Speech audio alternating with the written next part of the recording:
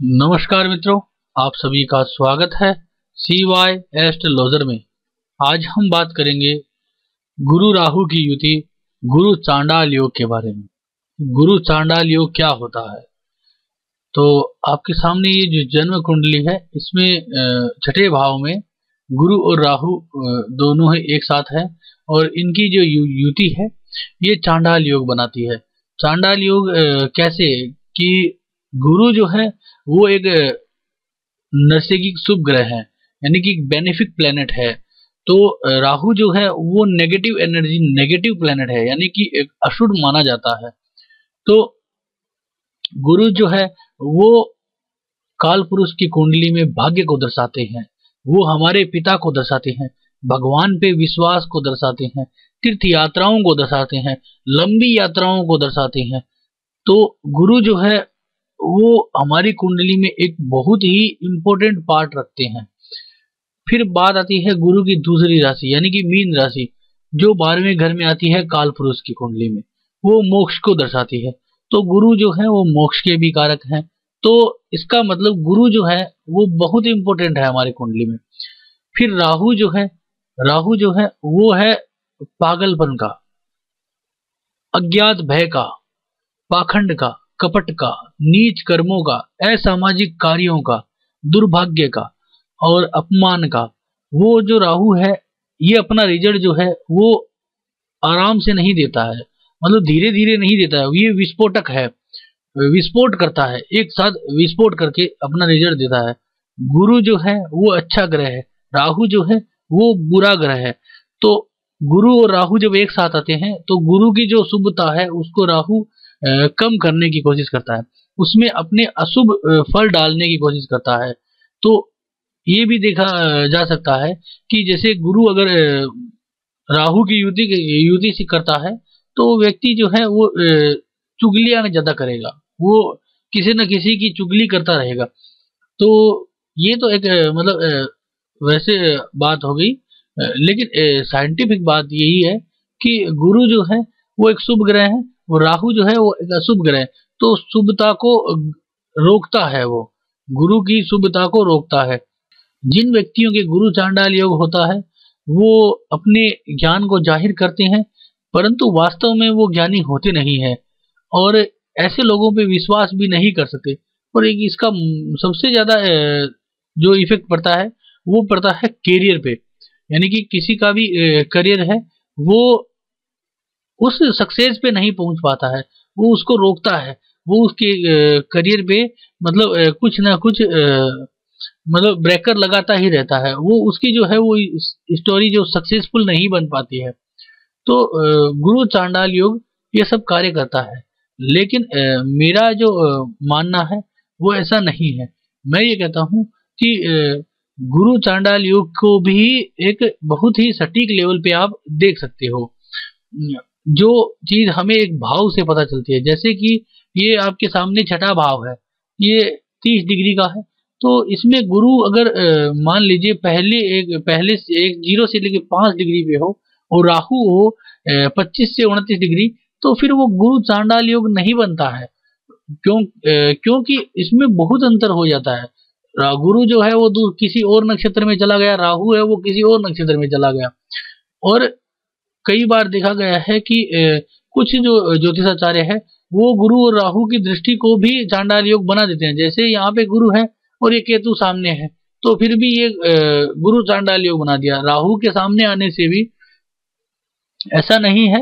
Actual की जो बात है पोजीशन की, वो ये है कि चांडाल योग जो है, मैं तो ऐसे योगों को मानता भी नहीं हूँ और अगर उसको देखा जाए, एकदम सटीक लेवल पे तो गुरु और राहु की जो डिग्री है विद इन उसके अंदर जो गेप है, वो विद इन फोर से मतलब कम होना चाहिए, जिससे कि ये दोनों एक ही नक्षत्र में आए और उसकी वजह से जो रिज़ल्ट है, वो दोनों का एक जैसा आए।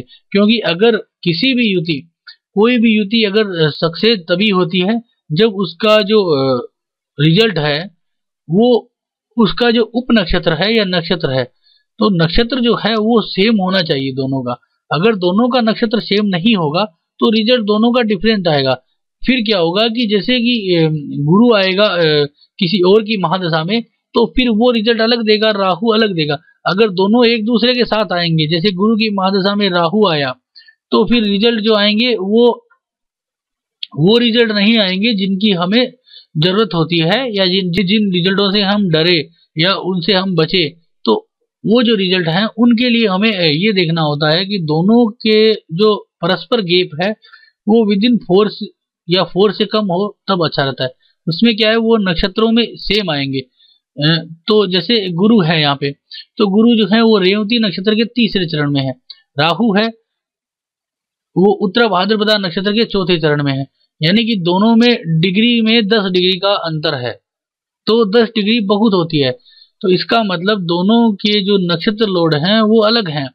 गुरु का रेवती है तो गुरु का जो रेवती है, वो बुद्ध देवता का नक्षत्र है और उत्तर भाद्रपदा जो नक्षत्र है, वो है शनि देवता का।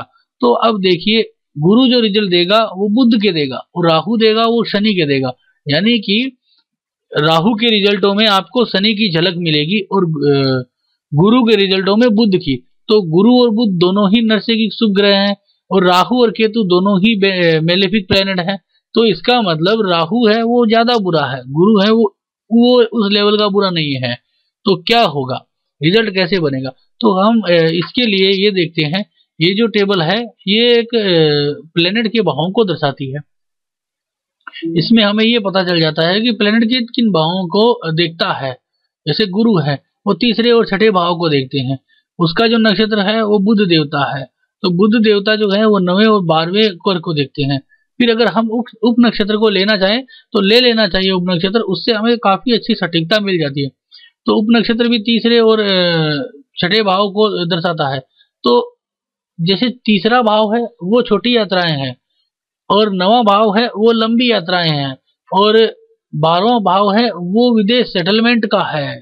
तो इसमें ये हुआ कि गुरु जो है। वो बहुत ही अच्छा रिज़ल्ट देगा और रिज़ल्ट क्या देगा? वो रिज़ल्ट देगा अपने मतलब विदेश यात्राओं के। अच्छी विदेश यात्राओं के रिज़ल्ट देगा।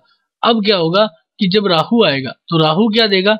राहु देगा ए, उसकी वैवाहिक जीवन में परेशानियाँ और नौकरी के प्रति अच्छे रिज़ल्ट देगा। व्यवसाय में मतलब जॉब में जॉब में चेंजिंग दिखाएगा। तो ये जो चीज़ें हैं ये दिखाएगा राहु। तो दोनों का रिज़ल्ट है वो डिफरेंट आता है। डिफरेंट आने का मतलब है कि ये युति काम नहीं करेगी। क्यों नहीं करेगी? कि जब गोचर में जब गोचर में कोई प्लेनेट इनके ऊपर दृष्टि डालेगा यानी कि मान लीजिए गोचर का गुरु गोचर का गुरु अगर बारहवें भाव, में आया और यानी कि कन्या राशि में यानी कि गुरुदेव जो है वो कन्या राशि में आए या राहु आया कन्या राशि में तो क्या करेगा? राहु जब कन्या राशि में आएगा तो वो अपनी दृष्टि से, सातवीं दृष्टि से राहु को देखेगा या गुरु को देखेगा। जैसे ही उसकी दृष्टि सातवें घर पे मतलब उसकी दृष्टि, सातवीं दृष्टि छठे घर पे आएगी तो उसकी जो डिग्री होगी, वो डिग्री कहाँ होगी? यानी कि यहाँ पे जैसे केतु का हम अगर एक्चुअल में ये ये मान ले कि यहाँ पे इसके ऊपर अगर गोचर कुंडली है, जैसे कि ये गोचर कुंडली है और गोचर कुंडली में आप देख रहे हो कि राहु जो है वो सिंह राशि में है। अब ये मान लीजिए कि जैसे गुरु है वो अभी कन्या राशि में चल रहे हैं तो गुरु जो है वो कन्या राशि में चल रहे हैं। अब यहाँ पे अगर हम ये कुंडली, ये जो गोचर कुंडली है, इसको अगर हम तुला लग्न की बनाएँगे तो गुरु महाराज बारहवें घर में आएँगे। तो गुरु महाराज की जो दृष्टि है वो गुरु महाराज की यहाँ पे यहाँ पे बैठे हुए गुरु महाराज की दृष्टि, बारहवें घर की गुरु महाराज की दृष्टि सातवें भाव पे आएगी। तो सातवें भाव में लग्न कुंडली में गुरु और राहु बैठा है। तो क्या होगा? गुरु किसके रिज़ल्ट देगा? तो गुरु की दृष्टि अगर गुरु पे आएगी, दोनों पे आएगी दृष्टि तो लेकिन गुरु की डिग्री क्या होगी? यानी कि जो ये लग गोचर कुंडली का जो गुरु है, वो अगर डिग्री वाइज गुरु से संबंध बनाता है। डिग्री वाइज यानी कि गोचर कुंडली का जो गुरु है, मान लीजिए वो 24 डिग्री है, या 25 डिग्री है, या 27 डिग्री है तो क्या होगा कि वो इस गुरु के परस्पर आएगा और इस गुरु के ऊपर अपना ज़्यादा इफ़ेक्ट देगा और इस गुरु से रिलेटेड प्रभाव देगा। तो हमें गुरु से रिलेटेड वो मतलब रिज़ल्ट मिलेंगे। यानी कि हमें विदेश यात्राओं में सटीकता मिलेगी और विदेश यात्राएँ हमें हंड्रेड परसेंट यहाँ पे मिलेगी। अब यही गुरु जो है, वो 16 डिग्री पे आएँगे। यानी कि यही गुरु 16 डिग्री पे आएँगे तो उनकी जो संबंध बनेंगे, वो इस गुरु से न बन के इस राहु से बनेंगे। और राहु पे बनने के बाद फिर क्या होगा, इसकी मेरिटल लाइफ में भी प्रॉब्लम आएगी और इसकी हेल्थ में भी प्रॉब्लम दिखेगी, क्योंकि गुरु जो है, वो छठा और बारहवां घर भी देता है। क्योंकि गुरु जो है, वो छठे घर में बैठा है और रेवती नक्षत्र में है, जो रेवती जो नक्षत्र है, वो है आपके बुद्ध देवता का। तो बुद्ध देवता की एक जो राशि है, वो आ रही है बारहवें घर में। तो इसका मतलब है कि गुरु जो है, वो छठे बारहवें के लिए चलेगा छठा बारहवा जो है, वो थोड़ी सी हेल्थ प्रॉब्लम दर्शाता है।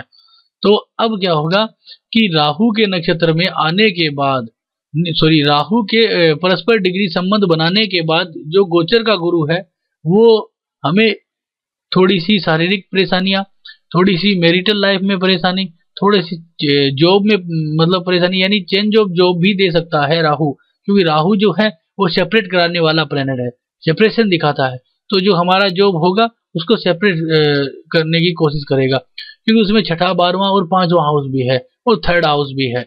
तो इसका मतलब कि जो योग होता है वो कब फलित होता है? उसका जो फलित होने का जो आ, समय होता है वो होता है दोनों की जो डिग्री है वो विद इन फोर डिग्री या विद इन फाइव डिग्री रहनी चाहिए जिससे कि दोनों सेम नक्षत्र में आ जाए और उस पे जब गोचर के प्लैनेट्स के इफ़ेक्ट आए जैसे कि यहाँ पे गोचर पे मैंने आपको बताया था गुरु तो जैसे ही ट्रांजिट में गुरु की दृष्टि दोनों संबंध बनाएगी तो फिर अगर वो गुरु देने वाला, यानी कि एक थोड़ी सी क्रिटिकल बात है समझने की कि एग्ज़ाम्पल के लिए कि फिर से वही एग्ज़ाम्पल दे रहा हूँ कि ट्रांजिट में आया हुआ गुरु ट्रांजिट में आया हुआ गुरु अगर 16 डिग्री है ट्रांजिट में आया हुआ गुरु अगर 16 डिग्री है तो फिर वो इस राहु से संबंध बनाएगा, गुरु से नहीं बनाएगा। अगर यही गुरु यहाँ पे 16 डिग्री का होगा तो दोनों से संबंध बनेगा तो दोनों के रिज़ल्ट देगा। तो जब दोनों के रिज़ल्ट आएँगे, तब ये योग फलित होगा और तब ये योग योग बनेगा। जो अगर ये अच्छा है तो अच्छा बनेगा और बुरा है तो बुरा बनेगा। तब इसके योग के रिज़ल्ट आएँगे। एक तो ये ट्रांजिट में आएँगे, फिर आएँगे महादशा और अंतर दशा में। तो महादशा में कब आएँगे? कि जब गुरु गुरु में, यानी कि दो हज़ार दो हज़ार अड़सठ, अठहत्तर सॉरी दो हज़ार अठहत्तर तो 2078 में अगर गुरु आएँगे तो गुरु में जब राहु आएगा, तब इसका रिज़ल्ट आएगा। या फिर आएँगे 2050 में, जब राहु आएगा और राहु के अंदर गुरु का अंतर आएगा, तब तो इनके रिज़ल्ट निकल के आएँगे। और इनके हल्के हल्के रिज़ल्ट आएँगे हर महादशा अंतरदशा में। तो कोई भी योग हो या कैसा भी योग हो, उससे घबराने की ज़रूरत नहीं है। उसको पूरी सटीक सटीकता से देखना चाहिए कि वो योग कहाँ पे बना है कितने डिग्री का है उसका नक्षत्र लोड कौन है? अगर किसी योग का कोई नक्षत्र लोड अच्छी जगह बैठ गया तो फिर वो योग जो है वो अगर बुरा योग है तो वो उतना बुरा नहीं रहता है। अगर वो अच्छा योग है और उसका जो नक्षत्र लोड है वो बुरी जगह बैठ गया तो फिर उसका जो ए, मतलब यो अच्छे योग का अच्छापन है उसमें कमी आएगी। तो हमेशा ही याद रखिए किसी भी गुरु कोई भी मतलब योग हो, उसका जो एक्चुअल में उसकी जो संबंध है, वो बहुत ही पास होना चाहिए। कोशिश यही होनी चाहिए कि वो योग जो हो, या मतलब वो योग जो बन रहा है, वो एक ही नक्षत्र और चरणों का भी दो से ज़्यादा चरण का अंतर नहीं होना चाहिए। जैसे यहाँ पे लिखा हुआ है रेवती तीसरा चरण तो ये योग भी रेवती पहला या दूसरा या चौथा चरण में बने तो फिर इस योग के जो रिज़ल्ट है, वो बड़े ज़बरदस्त आएँगे। बुरा है तो बहुत बुरा अच्छा है तो बहुत अच्छा। तो मैंने इस वीडियो में गोचर कुंडली के थ्रू इसको समझाया है और वैसे महादशा के थ्रू भी। तो गुरु चांडाल योग जो है, वो कोई बड़ा योग नहीं है, कोई मतलब ऐसे घबराने वाला योग नहीं है, इससे घबराने की कोई खास ज़रूरत नहीं है।